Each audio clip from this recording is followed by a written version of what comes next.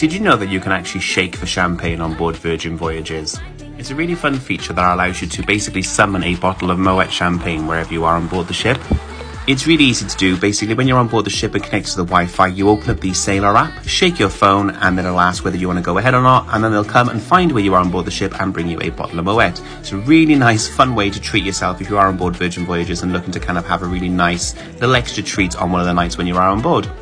Would you do this?